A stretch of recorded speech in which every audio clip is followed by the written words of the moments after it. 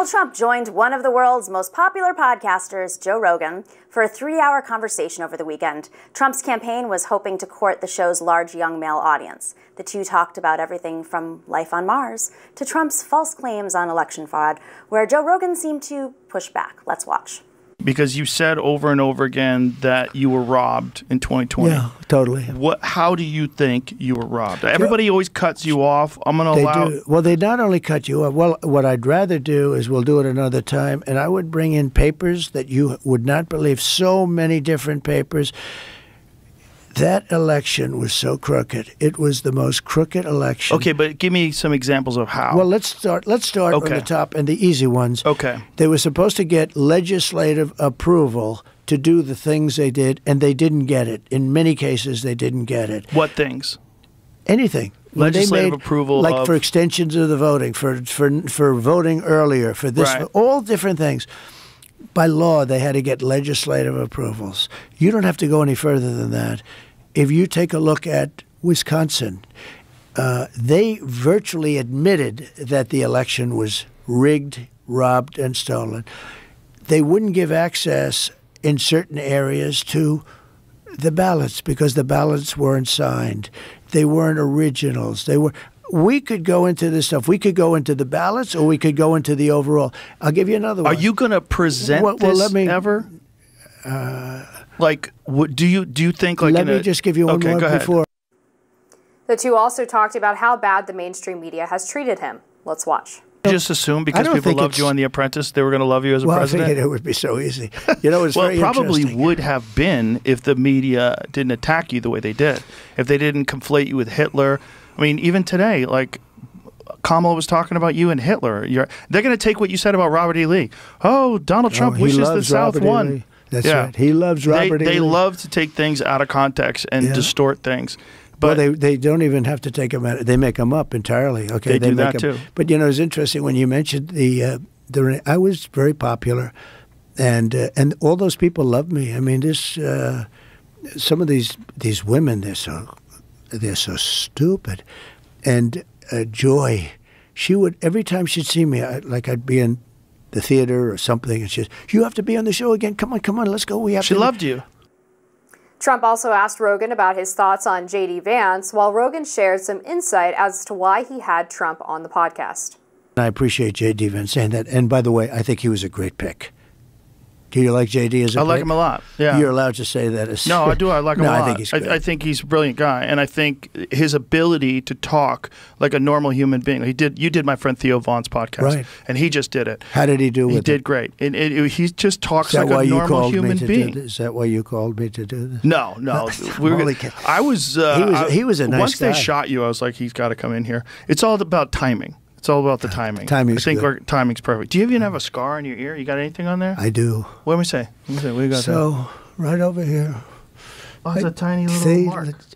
It, well, there you have it. Uh, 33 million views on this podcast, which I think is the most viewed Joe Rogan podcast ever, which says a lot because he does have a lot of subscribers. Um, look, I listened to the whole thing over the weekend. And Lost your weekend, your whole weekend. 1.5 times speed, but uh, look, I thought it was enjoyable. There were a lot of very personal moments, a lot of human moments. Uh, one of my favorites was when Trump was talking about this uh, this trip he did to Afghanistan on Air Force One in the dead of the night, and how they had all the lights off on the plane, all the lights off on the runway, and how he decided to go up in the cockpit and stand next to the pilot because of how really harrowing and kind of bizarre it is to do a blind landing of, of this nature. And it was nice to hear him talk about things that weren't explicitly political and just sort of his experiences being in the White House, going into the Lincoln bedroom for the first time and kind of being in awe of all of the history that was in that building. I thought it was really smart for him to do this and kind of show this human side of him. I think it's something similar to what he did during this McDonald's appearance where he was serving up the fries, just to kind of show the other side of him of just interacting with people and kind of just being a normal person. I mean, it was three hours, so I hope there was some normalcy that came out of him. Uh, my favorite part was actually this little clip where Joe Rogan was making fun of the weave and saying, "This is this is one big weave now. You're really going off on tangents." um, but I mean, the reality it was just like fact checkers were in full force on this one. I mean, I'm sure they were. He was uh, there. I mean, CNN has a running fact check, and it's like dozens and dozens at this point. Everything from California electricity to China and Taiwan to that he eliminated ISIS when you know the ISIS caliphate was liberated two years prior to his presidency. Of course, election denial, and that's actually I think what was the most fascinating was to see how Joe Rogan did push back for quite a long time. It was a long part of the interview where he pushed back, asking for evidence, asking for more information. I mean, I wish Joe Rogan would have been a little bit more clear. Joe Rogan also said on his, his later podcast with his uh, co host that he regrets not asking Donald Trump as to why he uh, was so resistant when it came to accepting COVID. Um, and the vaccine, and I that would have been nice for him to say to his large platform is to challenge him on on his vaccine response, especially given how Donald Trump was handing out the vaccine to Vladimir Putin. Um, at the same time, he was trying to was resisting handing it out to Americans and challenging, you know, COVID at first. Uh, so, you know, the, the, polling, he was all over the place with his polling estimates, saying he was down by astronomical numbers uh, in Wisconsin, and turns out he wasn't as, as low as he said. Of course, there's the outcome of the election. I think that's the biggest, the big lie that went on forever. And, um, and it wasn't really, I mean, you'd think that after making these claims over and over again, uh, for years that he would have a more solid response to a pretty you know light interview. And the same with the enemy with, from within. You know, J.D. Vance, which we'll talk about, was out the same day saying that Donald Trump didn't say that, but there was Donald Trump in this interview with Joe Rogan uh, talking about the enemy of within being Adam Schiff and Nancy Pelosi on the other side, and that he would go after them with the military. I mean, it's just it must get old being a surrogate for Donald Trump in trying to rewrite the words that he continues to say, even after they rewrite it again. Well, he did not say to send the military on Pelosi and Schiff and uh, et cetera. That was a different set of comments that he made. But um, I, am a little confused by your characterization of what Joe Rogan might have asked Joe, uh, uh, Donald Trump about COVID, because it would actually be from the opposite perspective. Said this. That if you could find the quote, that would be great, because Joe Rogan was notoriously a lot softer on COVID than Trump was, especially in the first six months to uh, of the pandemic response, and was very skeptical about the vaccines and the emergency use authorization. Um, Rogan revealed. Okay, so he was asked by another guest, uh, Brendan Schaub, mm-hmm. um, a UFC fighter. Did you ask him why he was against vaccines? And then Rogan revealed, no, I didn't, but I also wanted to stay composed because the mom- there was a moment when he brought up the polio vaccine, and I was like, oh my God, I didn't want to correct, correct him or pull up a chart showing when polio actually dropped off after the vaccine was introduced. Despite the variance, that's a rough one. When you look at the data, there's a lot to unpack, like measles and other cases, with what actually happened. I think that Rogan has pulled back, probably from some pressure. Yeah, well, I would also say that those are that's not COVID vaccines. That's a different, obviously. They were talking about COVID, and then it shifted to polio, is what he's saying. Yeah, so because Trump obviously was very pro-COVID vaccine, he granted the emergency use authorization and Eventually. created Operation Warp Speed, right? That would have uh, allowed those to be developed in the way that they were. He was actually very proud of that. Eventually, once it became popular and there was enough pushback, but it took him long enough. I mean, he didn't even want to shut down the economy. He didn't understand the severity. he shouldn't have shut down the economy. It was a disaster. Well, that was actually, I would say, one of the biggest mistakes of his presidency was listening to people like Anthony Fauci and Deborah Birx who wanted to shut down the economy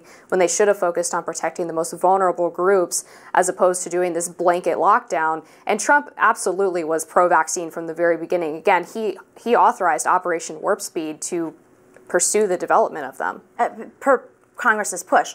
But listen, the economy, if we didn't shut it down, it wasn't just about vulnerable members of our community in the beginning. Everybody who could get a COVID had could potentially end up in the hospital and potentially die. But the risk was a, we probably the know. risk was was incredibly low, and we did not.